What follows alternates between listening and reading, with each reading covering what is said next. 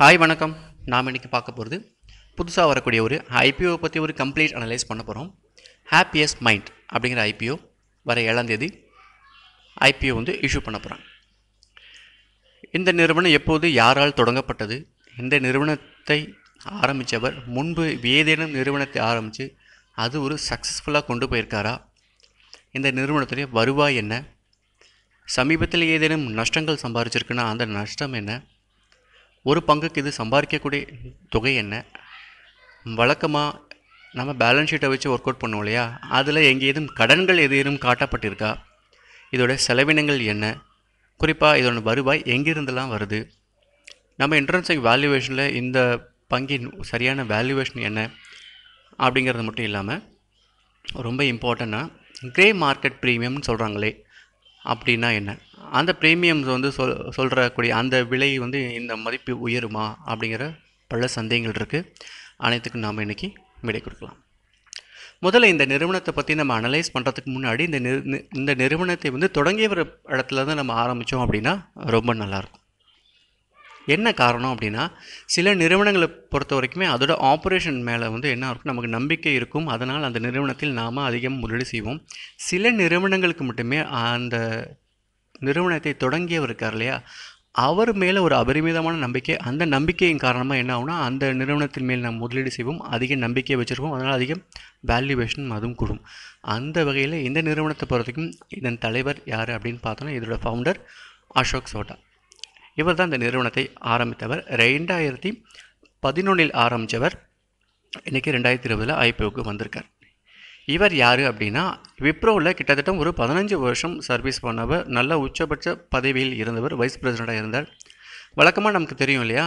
நாம் ஒரு நிறுவனத்தில் வேலை செஞ்சோம் அப்படின்னா ஒரு ஸ்டேஜுக்கு அப்புறம் இதையே நம்ம தொழிலாக செய்யணும் அப்படின்னு தோணும்போது அந்த மாதிரி பிஸ்னஸில் ஏதாவது இறங்குவோம். அது மாதிரி இவருக்கும் வந்து ஒரு விஷயம் தோணுச்சு. ஐடி இண்டஸ்ட்ரியில் ரொம்ப உயர் பதவியில் இருந்தார். அதனால் அந்த துறையே த ஒரு பிஸ்னஸாக பண்ணணும் அப்படின்னு சிலரோட துணையோடு என்ன பண்ணார் அப்படின்னா மைண்ட்ரி அப்படிங்கிற நிறுவனத்தை ஆயிரத்தி தொள்ளாயிரத்தி தொண்ணூற்றி ஒம்பது விப்ரோலேருந்து ஒம்பது வரார் அந்த ஆண்டு என்ன பண்ணுறாருன்னா மைண்ட்ரி அப்படிங்கிற நிறுவனத்தை ஆரம்பிக்கிறார்.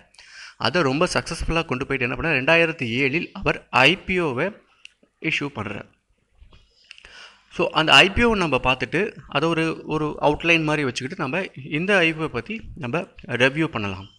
அந்த ஐபிஓ பார்த்தோம் அப்படின்னா பிப்ரவரி ஒம்பது ரெண்டாயிரத்தி ஏழில் வந்துச்சு. அந்த அப்போ அதோடைய திரட்டல் தொகையை பார்த்தோன்னா இரநூத்தி முப்பத்தி ஏழு கோடி ரூபாய். ஸோ பத்து ரூபா ஃபேஸ் வேல்யூ நானூற்றி இருபத்தஞ்சு ரூபா ஒரு பங்குக்கு என்ன பண்ணாங்க அப்படின்னு அஷ்யூ பண்ணாங்க.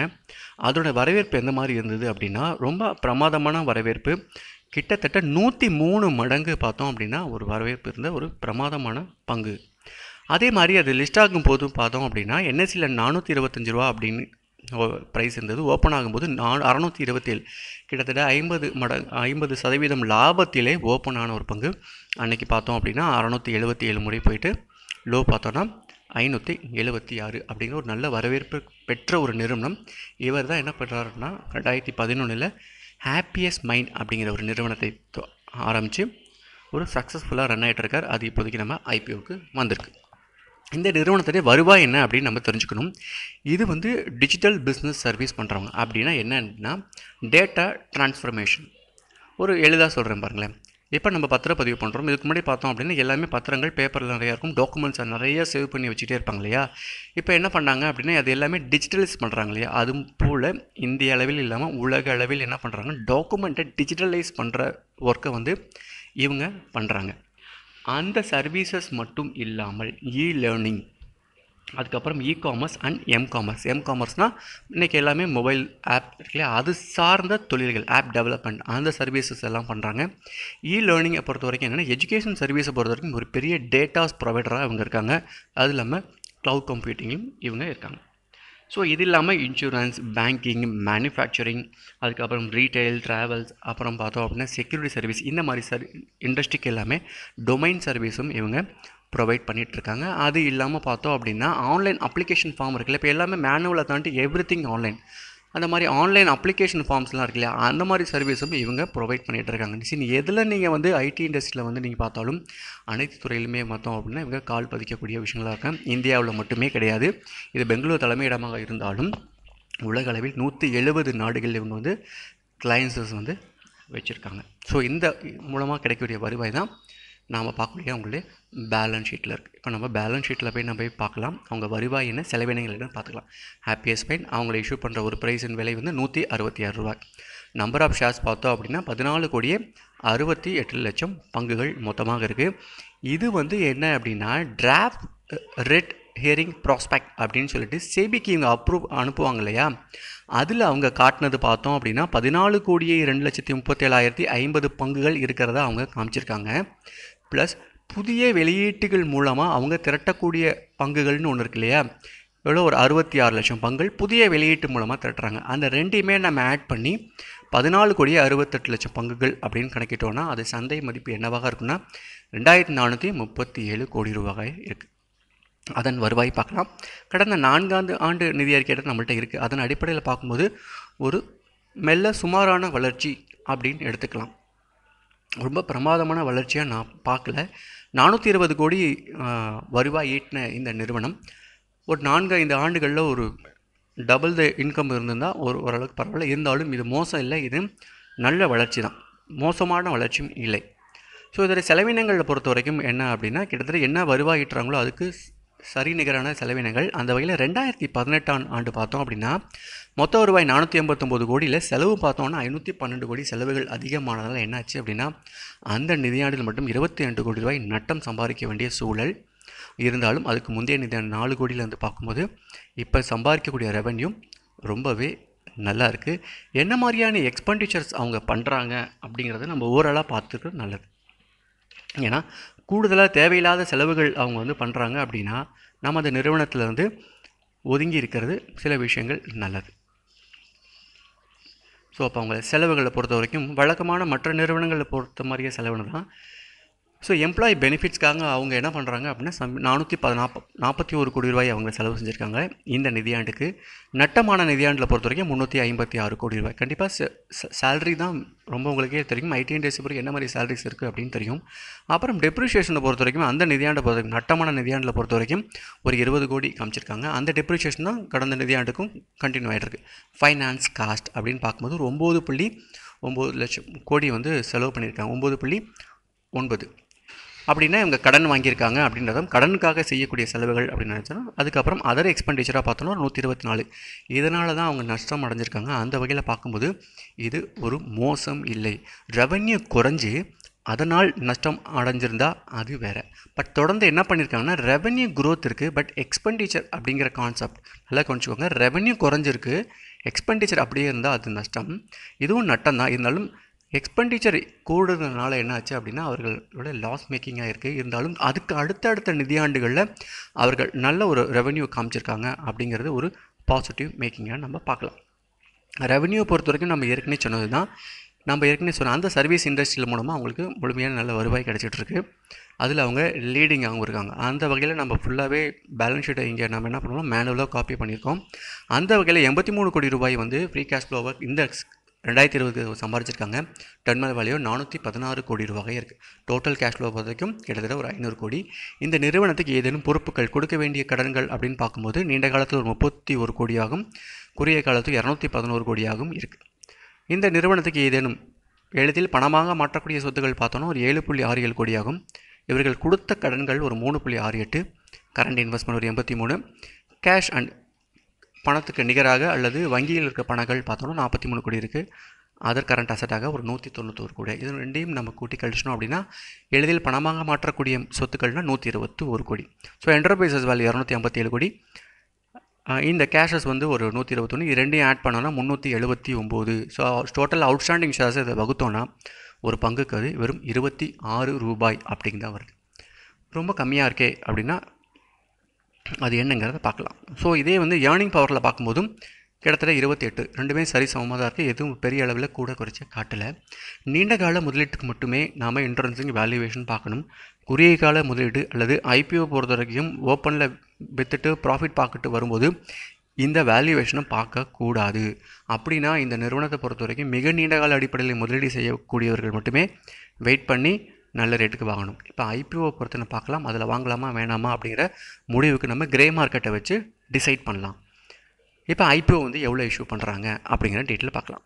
செப்டம்பர் ஏழாம் தேதி இவங்க ஐபிஓ கொண்டு வராங்க. செப்டம்பர் ஒம்பது வரைக்கும் அவங்க ஐபிஓ ஓப்பனில் இருக்கும். புக் பில்டிங்லாம் பண்ணுறாங்க மொத்தம் சைஸ் பார்த்தோம்னா நாலு கோடி இருபத்தி ரெண்டு லட்சம் பங்குகள் இஷ்யூ பண்ணுறாங்க அதில் புதிய வெளியீடுகள் பார்த்தோன்னா அறுபத்தி ஆறு லட்சம். தங்கள் ப்ரொமோட்டர் வந்து தங்கள்கிட்ட இருக்கக்கூடிய பங்குகளை பொதுமக்கள்கிட்ட விற்கிறது மூணு கோடி ஐம்பத்தாறு லட்சம் பங்குகளை விற்கிறாங்க அதன் மூலமாக திரட்டக்கூடிய தொகை ஏழு கோடி எழுநூற்றி இரண்டு கோடி. ஸோ ஒரு பங்கின் ஃபேஸ் வேல்யூ இரண்டு ரூபாய். ஐபிஓ ப்ரைஸ் பார்த்தா நூற்றி அறுபத்தஞ்சிலேருந்து நூற்றி அறுபத்தி ஆறு அப்படின்ட்டுருக்கு மார்க்கெட் லாட்டை பொறுத்த வரைக்கும் தொண்ணூறு. நீங்கள் மினிமம் தொண்ணூறு தான் இன்வெஸ்ட் பண்ண முடியும். அதுக்கு கீழே பண்ண முடியாது.